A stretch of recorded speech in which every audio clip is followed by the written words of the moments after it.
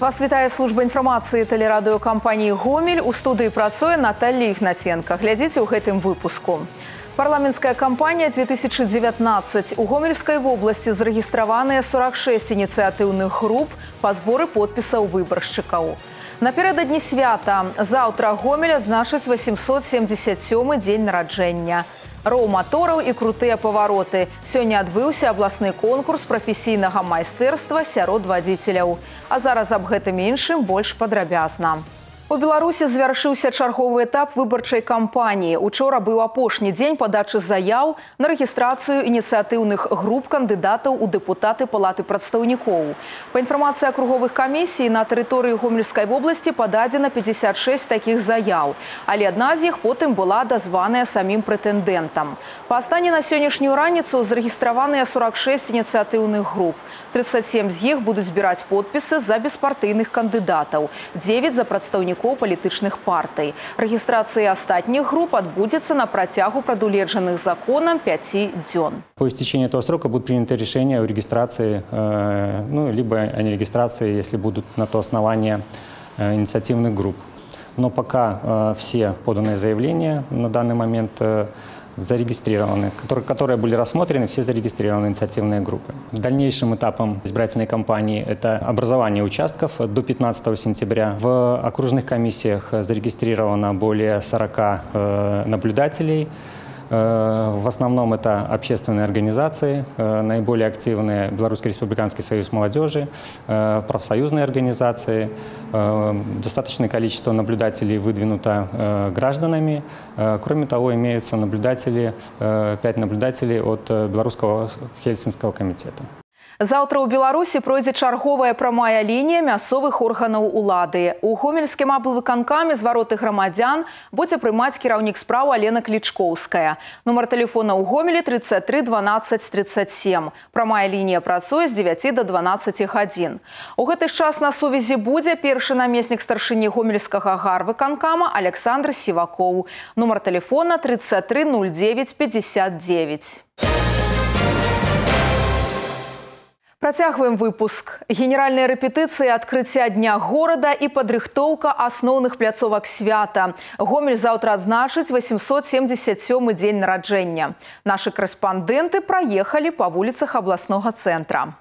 Пачатак святкавання ў 11 гадзін раніцы на набярэжнай ракі Сош. Гэта будзе маштабная музычная тэатралізаваная дзея, толькі непасрэдных удзельнікаў каля дзвюх тысяч чалавек самых розных узростаў, ад школьнікаў да пенсіянераў. Працягласць пралогу 45 хвілін. Арганізатары абяцаюць, будзе вельмі цікава. Дарэчы, распрацоўка сцэнарыя пачалася яшчэ некалькі месяцаў таму. Непасрэдна рэпетыцыі праходзілі два тыдні. Сёння адбылася апошняя генеральная. Главная задача показать красоту, энергетику, желание делать город краше, симпатичнее.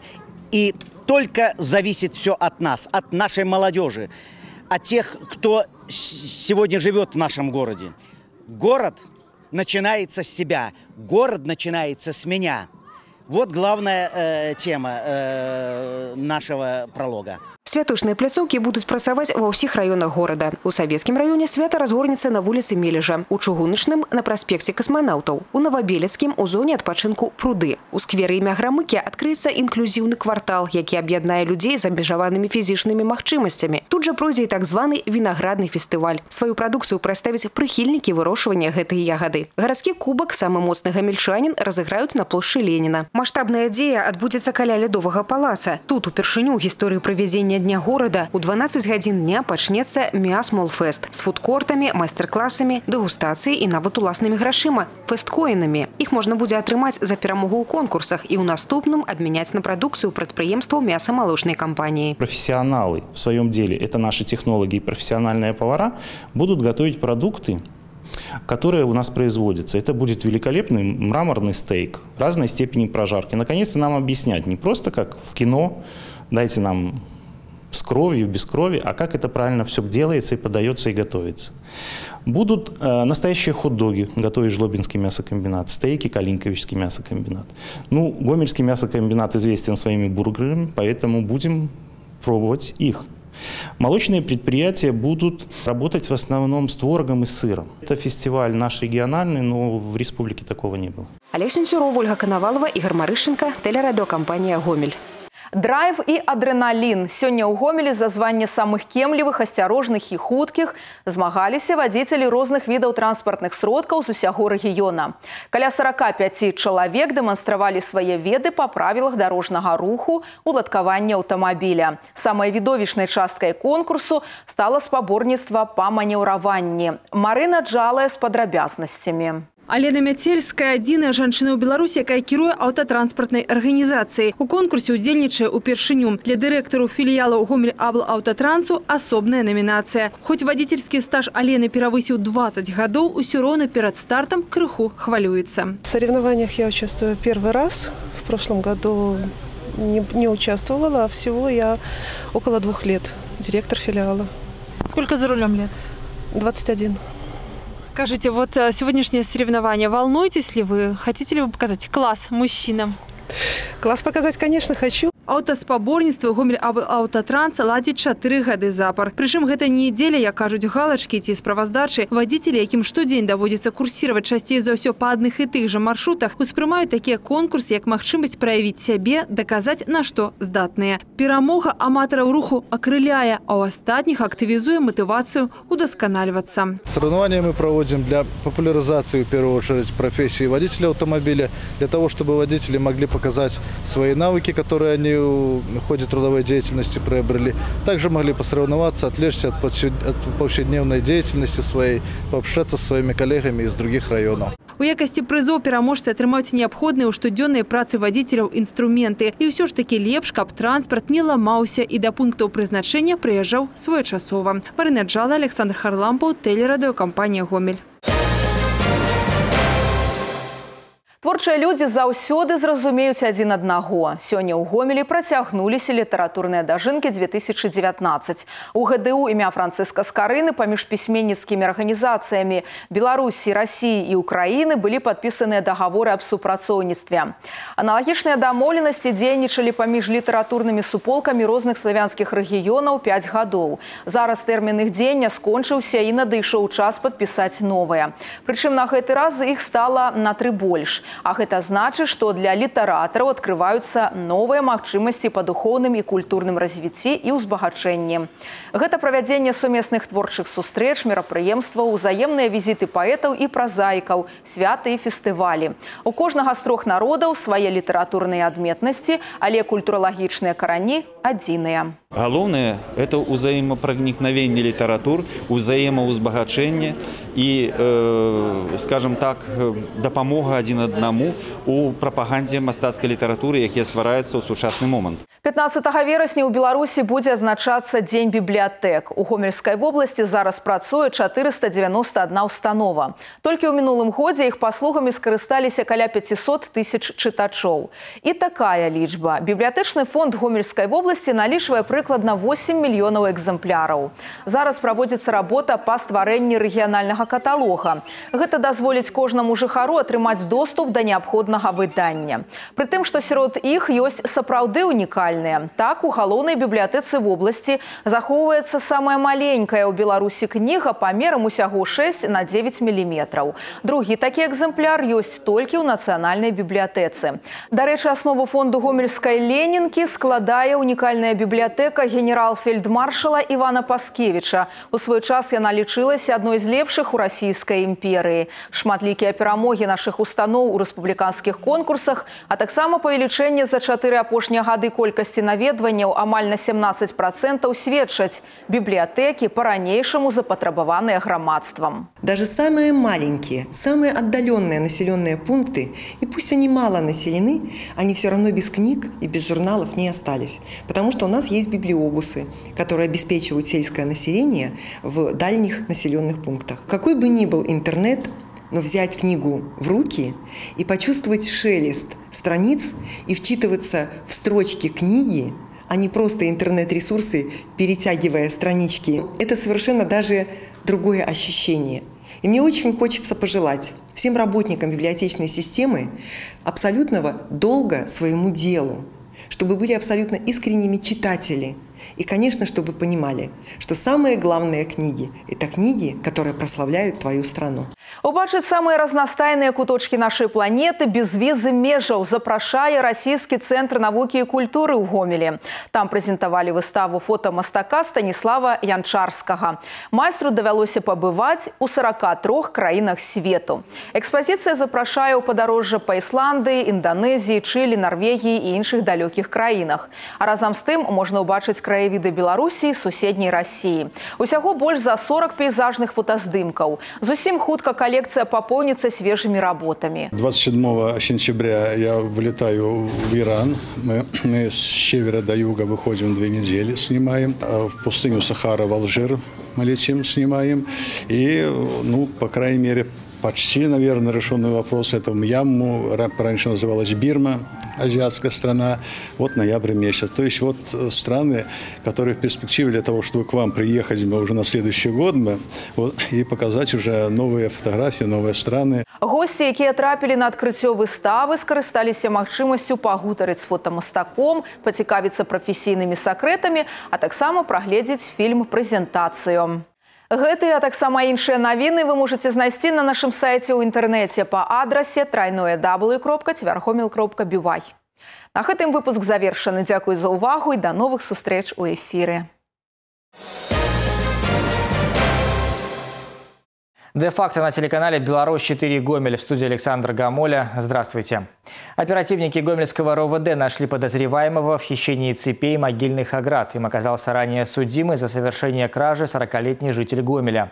В ходе проведения оперативно-розыскных мероприятий выяснилось, что в конце августа мужчина снял цепи с оград на кладбище в поселках Красный Маяк и Барок, а через две недели начал продавать похищенное. Реализовывал товар мешками. В одном было 60 килограммов, в трех других других по 30. Часть отдал в скупку черного металла, остальное – жительница одной из деревень Гомельского района. Именно там сыщики и нашли цепи. Материалы проверки по всем фактам совершения хищений переданы в Гомельский районный отдел Следственного комитета. Выбрана мера пресечения в виде обязательства о явке. В Жлобине произошел пожар, в результате которого сгорело 5 тонн соломы. Сообщение о возгорании скирды соломы в поле около районного центра поступило в службу спасения накануне вечером. По прибытии спасатели локализовали и ликвидировали пожар. В результате огонь уничтожил только 5 тонн соломы, 85 было спасено. Пострадавших нет. Рассматриваемая версия причины возникновения пожара – поджог. Еще один пожар произошел в Рогачевском районе. Там неподалеку от деревни Старый Кривск горел кормоуборочный комбайн, принадлежавший местному агропредприятию. Водитель пытался справиться с пожаром самостоятельно, но не удалось. Спасатели ликвидировали возгорание. Огонь повредил моторный отсек, кабину и два колеса комбайна. Пострадавших нет. Причина произошедшего устанавливается. Рассматриваемая версия – механическое разрушение узлов и деталей комбайна. В Хонинском районе локализован лесной пожар на площади 50 гектаров. Возгорание обнаружили около деревни Ломыш. Для ликвидации возгорания было задействовано 53 единицы техники и 283 человека. В процессе тушения с вертолета осуществили 10 сбросов воды. Борьба с огнем продолжалась практически всю ночь. На утро сегодняшнего дня пожар локализован. Огнем повреждено 50 гектаров. В Брагинском районе при попытке самостоятельного тушения пожара мужчина получил ожоги. В деревне Гдень горел деревянный деревянный сарай. На момент прибытия спасателей хозяин находился во дворе. Сотрудники МЧС пожар ликвидировали, но постройка была уничтожена. Хозяин дома получил ожоги. Он госпитализирован в Брагинскую районную больницу. Водитель и пассажир служебного автобуса избили велосипедиста в Мозыре. По предварительной информации, пассажир автобуса «ПАС» плюнул из окна и попал в велосипедиста. Мужчина догнал автобус на остановке и попытался разобраться с обидчиком. В результате водитель и пассажир избили мазырянина, повредили и его велосипед. Хулиганы на автобусе скрылись с места происшествия. Пострадавший обратился в милицию. Сотрудники РОВД нашли тот злополучный автобус и установили личности нападавших. Возбуждено уголовное дело. В Гомельском районе автомобиль съехал в озеро. Сообщение о необходимости оказания помощи в извлечении легковой машины поступило в службу спасения. Сотрудники МЧС установили, что водитель ДЭУ не справилась с управлением и съехала в озеро возле деревни Тереничи. Работники МЧС при помощи лебедки вытащили авто. К этому часу это все новости о происшествиях нашего региона. Оставайтесь на Беларусь 4. На телеканале «Беларусь-4 Гомель» новости спорта в студии Максим Савин. Здравствуйте. Завтра пройдут матчи второго тура чемпионата Беларуси по мини-футболу. Центральный поединок состоится в Гомеле. ВЧ ждет в гости сильнейшую команду минувшего сезона «Столицу». В стартовом туре, напомню, обе дружины праздновали победы. Поединок пройдет на паркете спорткомплекса «Локомотив». Начало в 14.00. ВРЗ играет на выезде. Соперник – еще одна команда из Минска «Динамо БНТУ». У студентов в графе набранных очков 0. Вагоностроители в первом туре сыграли в ничью с Витеном. Светлогорские ЦКК и Минск замыкают турнирную таблицу. Их очный поединок пройдет в Светлогорске начало в 14.00. После перерыва возобновляется чемпионат Беларуси по футболу высшей лиги. Стартует 21 тур завтра. Представители нашего региона играют в воскресенье и понедельник. 15 сентября на поле стадиона «Юность» в Мозыре начнется матч между «Славией» и столичным энергетиком БГУ. Стартовый свисток прозвучит в 15.00. В понедельник состоится только один матч. Игровую программу 21-го тура закроют Витебск и Гомель. Противостояние пройдет на поле «Северян». Начало в 19.30. Заслуженный тренер Беларуси по дзюдо Владимир Расин отмечает юбилей. 60 лет оставаться в спорте вот уже на протяжении полувека Владимиру Владимирович помогает, как это ни странно, спорт. Ежедневно в его графике две тренировки с молодежью. Все приемы и броски он показывает сам. Даже в день рождения он с грустью отмечает, что его оторвали от тренировки.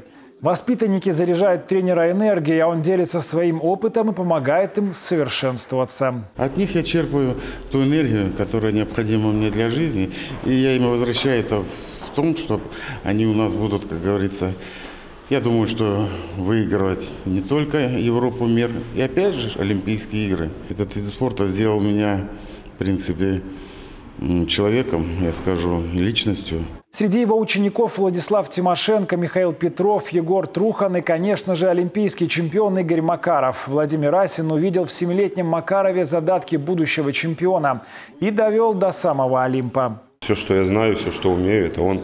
Ему спасибо огромное. На этом пока все. С новостями спорта вас знакомил Максим Савин. Оставайтесь на Беларусь 4.